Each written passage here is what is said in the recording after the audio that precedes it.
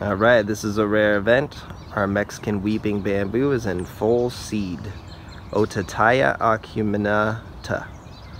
Aztec horn, something like that. But I just call it Mexican weeping bamboo. Now, my cousin sent me, I gave him a cutting of this and uh, he said it, it was seeding. So I came out and checked it out and he is correct. That's what it looks like. And I'm not sure about this bamboo because it's not hollow, it's different. It's from uh, it grows naturally in Mexico and South America. So I'm hoping it doesn't die. But from what I read, bamboo varieties can die after they seed. So it definitely doesn't look as healthy, but I mean it's busy producing tons and tons of seeds here you can see. So it's an exciting thing to see. Should happen once every 75 to like 100 years and all of these uh, Mexican ba weeping bamboos around the world are in bloom at the same time from what I read which I think is just amazing. So uh, this plant is hardy zones 9 to 11 and it can be grown in pots. It's used as an ornamental bamboo.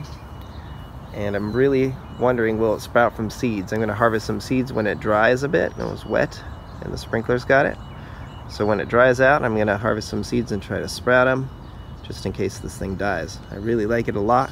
Um, it's very interesting. This is a brand new shoot that popped up. And as it, I mean, look, I'll show you. See this?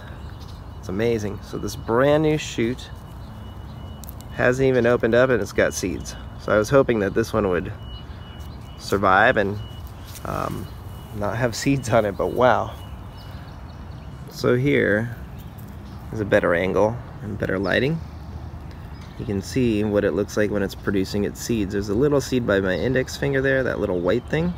And what they'll do is they'll fall and blow in the wind, just like a grass seed. Now bamboo is in the grass family, and there they are.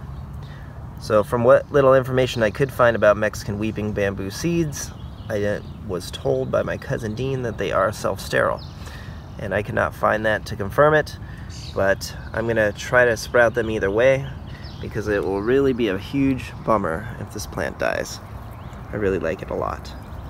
So, will it die? That's the big question. Or will it continue to grow after it seeds? So here it is in its full glory. I hope you survive Mexican weeping bamboo because you're beautiful. So that's what it looks like as Mexican weeping bamboo seeds. Alright, it's a very rare event. Give us a like and a subscribe. We'll have a wonderful day. Take care.